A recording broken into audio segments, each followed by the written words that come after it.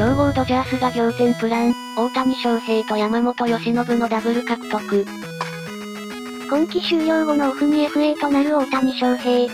今や世界一の人気と実力を兼ね揃えたスーパースターとなった大谷を獲得すべく、各球団が争奪戦を繰り広げると見られている。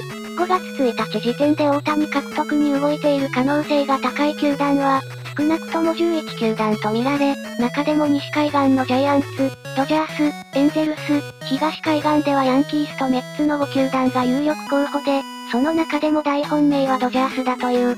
ドジャースといえば大谷の高校時代の最有力候補だった球団で、10年連続プレーオフ出場の強豪チームでもある。さっきオフは大物を獲得せず大谷のための資金を確保しているとも言われている。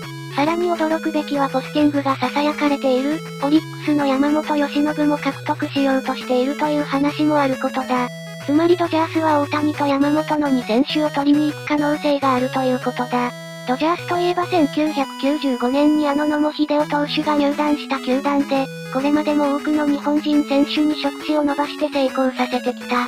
メジャーでは一番日本人選手に対するノウハウを持っていると言っても良いだろう。資金があって上昇軍団で日本人選手の対応もメジャー随一のドジャース。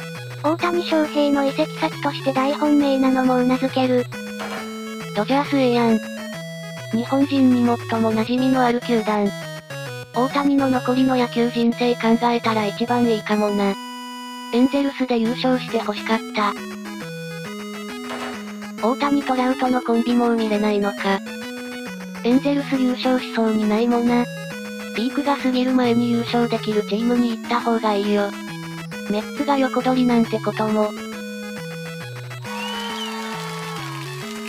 少しでも面白いと思ってくれた方はチャンネル登録と高評価よろしくね。あなたからのコメント待ってます。